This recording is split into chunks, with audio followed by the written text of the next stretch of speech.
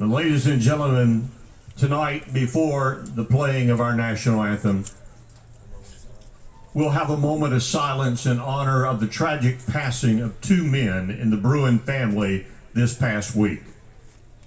Coach Richard Wright was a teacher and a coach at South Florence for over 20 years. During his time at South Florence, he was the defensive coordinator on the football team, as well as the PE sports coach at South Florence. Coach Wright was a valuable part of the athletic department during his time and left a lasting impression on thousands of athletes and students during his time as a Bruin.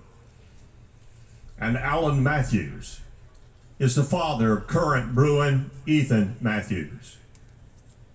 He was a graduate of Wilson High School and served in the Navy, Navy for four years before working at Talley Metals. He was an avid fisherman and hunter. He enjoyed spending time with his sons Ethan and Chase and his wife of 19 years, Kelly. Alan was always a big supporter of Bruin baseball and Ethan over the years. Both of these gentlemen will be missed. And now a moment of silence.